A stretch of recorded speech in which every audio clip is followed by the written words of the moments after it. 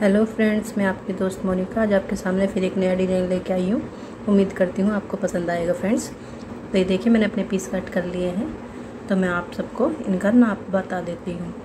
तो ये मेरे चार पीस हैं, जो तीन तीन इंच के हैं। ये भी मेरे चार पीस हैं, जो तीन तीन इंच के हैं। ये भी मेरे चार पीस हैं, जो तीन तीन इंच के हैं।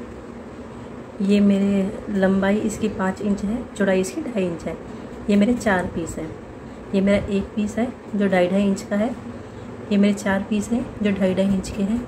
ये पीस फ्रेंड्स, हमने थोड़ा एक्स्ट्रा ही लिया है। बाद में हमें डिज़ाइन के हिसाब से हम इसको बाद में थोड़ा कट करेंगे। ये एक्स्ट्रा ही है, आधा इंच।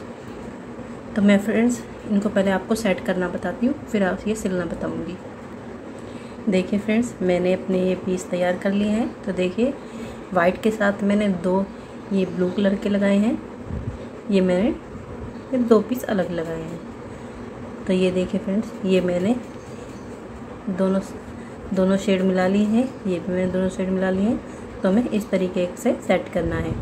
अब क्या करेंगे फ्रेंड्स? अब हम इनको, हमेशा जैसे मैं वीडियो में बताती हूँ, हमेशा हम ऐसे ही सिलेंगे। पहले बीच में स्केल्स की मदद से लाइन लगाएँगे साइड साइड में से सिलेंगे और बाद में कट करेंगे। तो ये मेरे सारे पीस ऐसे ही सिलने हैं। तो मैं एक पीस में लाइन लगा के दिखा देती हूँ फ्रेंड्स। फिर हम सिल, सिलेंगे। तो देखिए फ्रेंड्स, मैंने लाइन लगा ली है। अब क्या करेंगे हम, बीच की लाइन छोड़ के साइड साइड में सिलाई लगाएँगे और बाद में बीच लाइन में से कट करेंगे। तो मैं ये सारे पीस सिल लेती हूँ, फिर आपको दिखाती हूँ। देखिए फ्रेंड्स, मेरे सारे पीस सिल गए हैं। तो मैं अब इनको कट करके दिखाऊँगी। तो इनको ऐसे सिलाई के बीचों बीच कट करना है। तो ये लाइन के बीचों बीच मैंने कट कर लिया है और अब मेरे ये डबल शेड के टू पीस हो गए हैं। देखिए फ्रेंड्स अब हम क्या करेंगे? इन सबको भी ऐसे ही काट लेंगे और ठीक से इनको सेट कर लेंगे। थोड़ा इसको प्रेस कर लेंगे ताकि ये उड़े ना और ठीक से सेट हो जाए। तो देखिए, मैंने प्रेस कर लिया। ये बिल्कुल परफेक्ट हो गया है। अब इसमें से ये हमें ढाई इंच का तैयार चाहिए। तो अब हम क्या करेंगे फ्रेंड्स इसको इस पर रखेंगे, क्योंकि ये मेरा ढाई इंच का पीस था। अब देखो, इस पर पूरा ढाई पीस ढाई इंच का आ रहा है। अब हम इन कोनों को कट कर देंगे और ऐसे ही इन सबको ढाई इंच के हिसाब से ठीक तरीके से नाप के कट कर लेंगे। तो मैं आप सबको कट करके दिखाती हूँ, फ्रेंड्स। तो देखिए, फ्रेंड्स, मेरे सारे पीस मैंने कट कर ली है और इसको ढाई ढाई इंच नाप लिया है।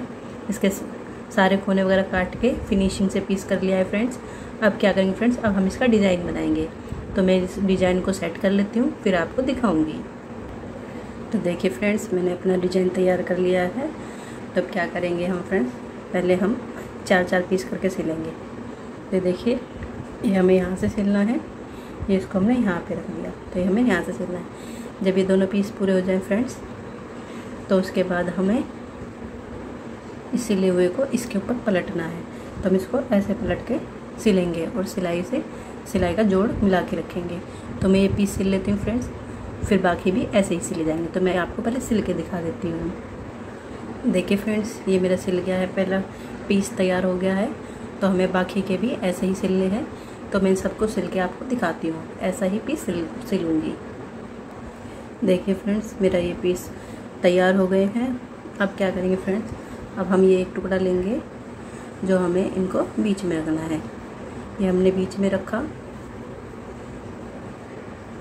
अब क्या करेंगे? ये जो पीस है हमारे, हम इसको रख कर सिलेंगे।